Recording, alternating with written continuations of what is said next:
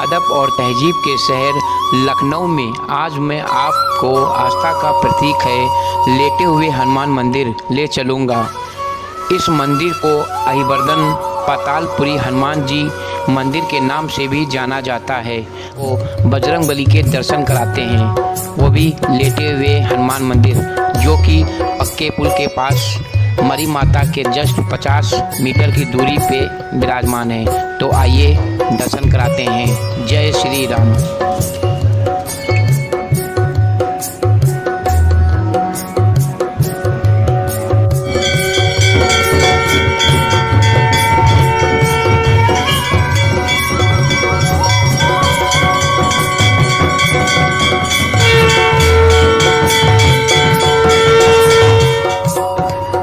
यह मंदिर काफ़ी साल पुराना है।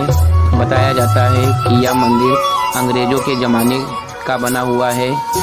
इस मंदिर में छः फीट के हनुमान जी, जो कि लेटे हुए हैं, उनके बाएँ कंधे पर प्रभु श्री राम जी हैं और दाएँ कंधे पर उनके भाई लक्ष्मण जी विराजमान हैं।